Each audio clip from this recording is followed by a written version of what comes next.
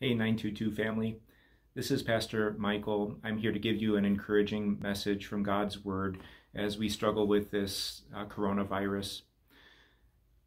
We are sitting at home, we're, we're isolated, which makes my encouragement today sound especially strange. Don't isolate yourself.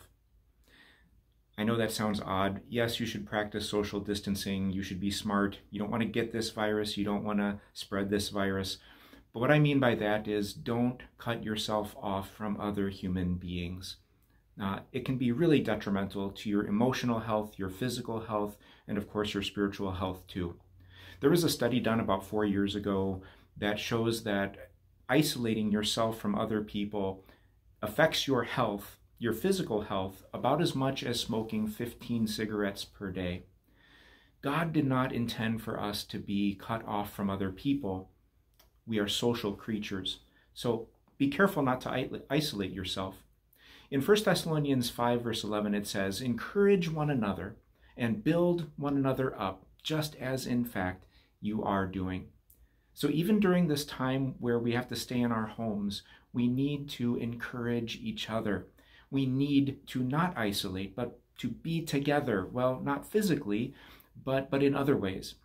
We, more than ever, need meaningful contact we need people who will speak God's word of truth to us. We need prayerful confession and people to assure us that we are in fact forgiven. We need regular contact with other people. So, can I ask you to do this? Could you make two phone calls today? Number one, would you call someone that you think might be isolating themselves or are in danger of that? And would you give them a word of encouragement and pray with them? And the second phone call I would like you to make Call someone that you especially know and trust and tell them how you really are. And again, be, be, be honest and, and listen to what they say, speak God's word of truth to each other, and pray with each other. So call someone in need and call someone that can help you in your need.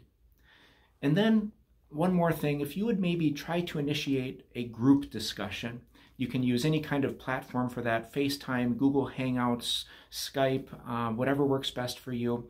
Uh, try to reach out to a group of friends and just connect and laugh and have fun, but also take some time to remember what God says in His Word and to encourage each other and to pray together. If there is any way that I can help during this time, please don't hesitate to connect with me. Um, if I can provide some kind of tech support or if you're looking for someone to connect to, um, I'm happy to do that. Know that your that your pastors are praying for you, that, that we love you, and that we're here for you no matter what. Can I pray for you now? Dear Heavenly Father, uh, this, uh, these are unprecedented times. Uh, it's so easy for us to, to be isolated. But Lord, help us to fight that and to intentionally connect with other Christians. Help us to encourage and support each other now more than ever. Help us to confess our sins to each other and to listen when a brother or a sister assures us that in Christ all of our sins are truly forgiven. Lord, thank you for fellow Christians, for the body of believers that you have placed us in, that we can grow in our faith through our connections with others. Lord, bless us, bless our uh, country, bless the world as we fight this virus, provide healing if that is your will, Give strength to those who are on the front lines. And Lord, through all of this, build and grow your church. We pray all this in Jesus' name. Amen.